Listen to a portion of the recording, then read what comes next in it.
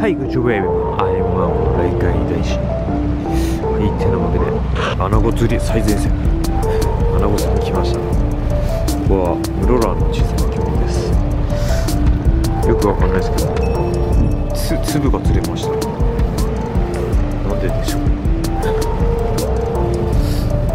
ウグインは反応して、いやもうできればカジカも釣りたいんだけど、室蘭まで来て、まりいい雰囲気じゃないんでいやかといって室蘭まで来てまた苫小牧まで元で釣りしに戻るっていうのもなんか釈然としない。苫小牧でよかったのかな。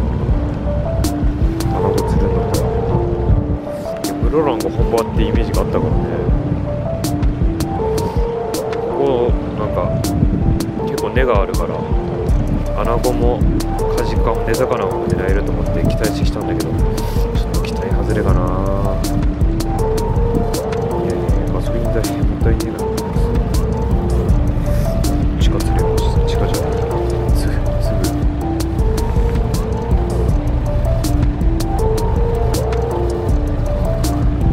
ぐ釣れました茹でて食うか。じゃあまたお会いいたしましょう